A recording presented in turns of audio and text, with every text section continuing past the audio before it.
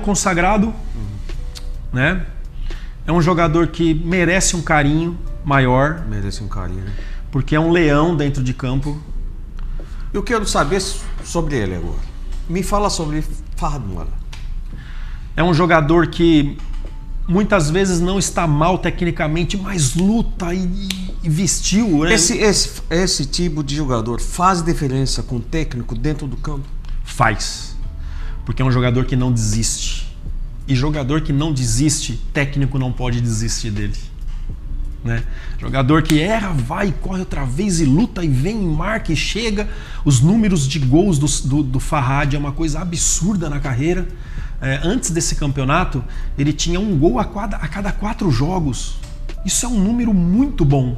Né? E jogador de ponta, né? Liberado. Jogador de lado. De lado. Né? É. Então é, foi também muito profissional comigo. É, a gente teve alguns problemas e eu fui duro com ele pro bem dele e ele entendeu Com isso. certeza, com né?